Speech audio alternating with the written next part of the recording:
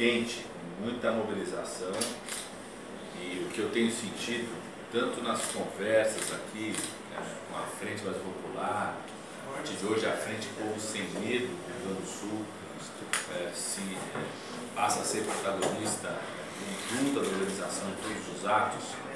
O que eu tenho percebido também, na semana passada eu estava na Bahia, fiz reunião com todos os estados do Nordeste, uma clareza muito grande dos movimentos populares, movimentos sociais, juventude, setor rural, movimento sindical, né, dos partidos políticos, os partidos políticos que têm candidatos a presidente, como o PCdoB, que tem a Manuela, o PSOL, que tem sinalizado que vai ter o candidato a presidente da República, lideranças do PDT, do PSB, uma clareza muito grande de que o mês de janeiro é um mês é, de início de uma jornada de luta intensa durante todo o ano de 2018 é, e que a cada batalha a gente vai acumulando forças para impedir que esse golpe e essa agenda de destruição dos direitos, de rasgar a nossa Constituição, continue no nosso país.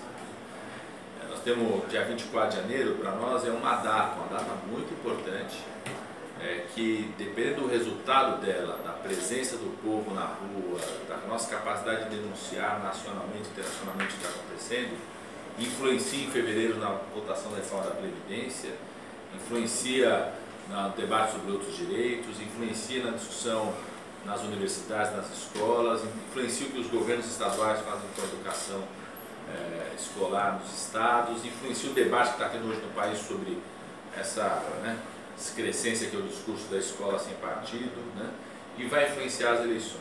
Então, por isso que nós estamos encarando tudo isso com uma grande mobilização, onde por um lado as datas que você falou têm um peso decisivo, 22, 23, 24, depois posso falar um pouquinho mais sobre elas, mas onde a coisa eu acho que talvez mais importante está acontecendo é a criação dos comitês populares em defesa da democracia.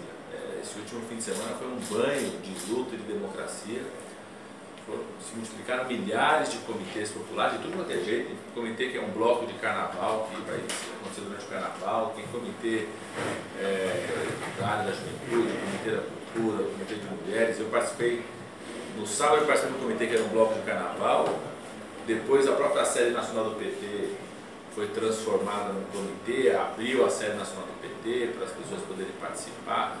A sede nacional do PT é toda cinza, a gente tem um prefeito lá em São Paulo, que eu acho que é parceiro do Marquesan aqui, tudo do MBL, e ele é contra a grafitagem lá. Então ele pintava tudo de cinza em São Paulo. Então a sede do PT sofreu uma desdorização nesse sábado, que foi um grafite lindo, tem Paulo Freire, tem Frida Kahlo, tem Luísa Barros, que foi nosso ministro deputado racial, tem Chico Mendes, né?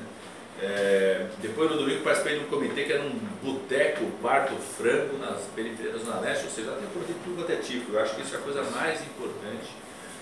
Né? Nós vamos botar muita gente em Porto Alegre. Quem tiver esse programa para vir para Alegre, venha para cá. A manifestação está garantida. Os movimentos aqui estão prontos para receber vocês. Hospedagem solidária, hospedagem móvel, vai ter é, vigília permanente. Então é uma programação bastante intensa. Mas além do saldo das mobilizações, eu acho que vamos sair até dia 24 com milhares de comitês espalhados no país para fazer disputa política, porque para nós do PT, independente do resultado do TRF4 no dia 24 de janeiro, no dia 25 vai ter uma reunião formal do diretor nacional que vai formalizar a candidatura do Lula a presidente da República. Nós vamos até o fim com o Lula como candidato a presidente.